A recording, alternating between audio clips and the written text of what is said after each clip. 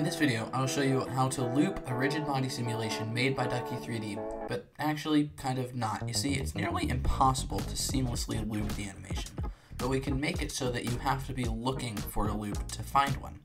The first way we can do this is by seamlessly looping these rings. The first thing we need to do to seamlessly loop the rings is make sure they're going the same speed. So I'll select one of them and I can go over here to item by pressing N and I can see here I've used the hash the trick hashtag frame frame divided by 20 or some number to animate it. However, this one's frame divided by 20 and this one is frame divided by 25. So I'll just change that back to 20 and now they're moving at the same speed. This means we can find a spot where other than this one where the rotation is equal. So if I go to frame 63, they're both equal to 180 degrees, which is the same effectively as uh, zero degrees. So, because it's a torus and it's perfectly even. So the next step is that uh, we need to make sure that since frame 63 is when they're even again, we need to make sure that our, our animation starts on frame 63 and then the end is a multiple of 63 minus 1. So I'll set the start to 63 and I'll set the end to 63 times 3 minus 1. And it's minus 1 because the end of the animation has to be one frame behind the start.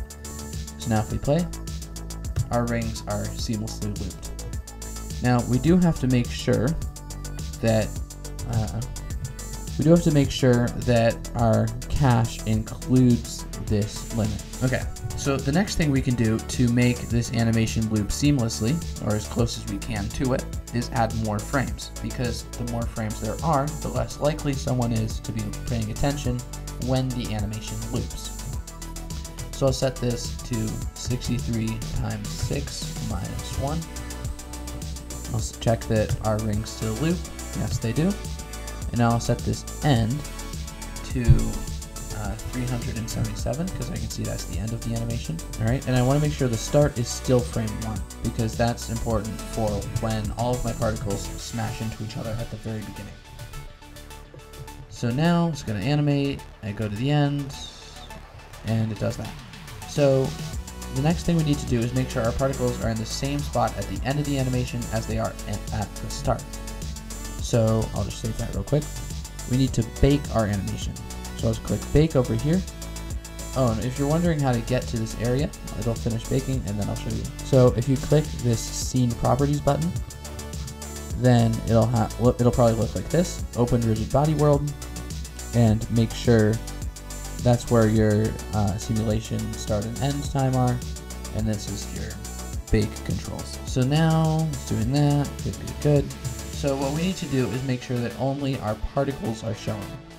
So I'll just, uh, we, we, can actually click and drag on the eyeballs until we get down to a particle.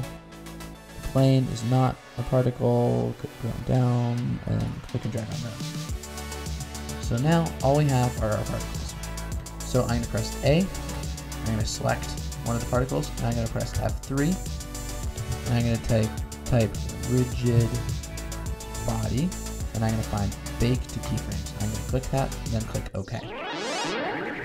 So now what we need to do is select the last couple of keyframes here, and I'm just going to delete them.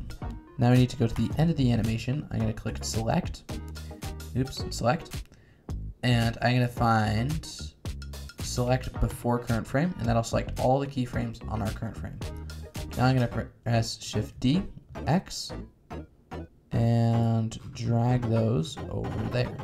GX, and I want them to be one frame behind the end of the animation, as with the rings. Now, we don't want this to be a straight line, we want it to be somewhat smooth, so I'm going to click Bezier animation type.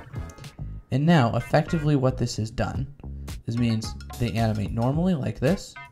We can go to the end, and now it's going to reset so that it'll loop again. I'm gonna unhide uh, everything. So this is not exactly perfect. You can tell, you can tell here it's normal, and then here it's not. So the next thing we can do is I can go to my camera here. Oops, Come on. Oh my gosh. Camera, finally, sorry. Failing to click on the camera. But all I'm gonna do is go over here and on the distance, I'm gonna make sure I have depth of field checked and I'm gonna make sure my distance is, I can, by the way, I can go to viewport display and turn on limits. And so that way we can see where our, uh, our distance is for our depth of field. So I can just move that slider until that empty starts to disappear. Then I know that's good. Now I'm gonna press I, and now that I have this keyframe selected, I'm just gonna kind of go like this, slightly move them around. But once this starts, I'm just gonna go way up and I'm gonna take this one, Shift D, X, and head back. I'm gonna set all of them to the interpolation type like that. Now I'm gonna see how bad this is. Yeah. As I suspected. Oh, by the way, I kind of forgot about this, but you can't have negative distance. So I'll just kind of pull those up right there.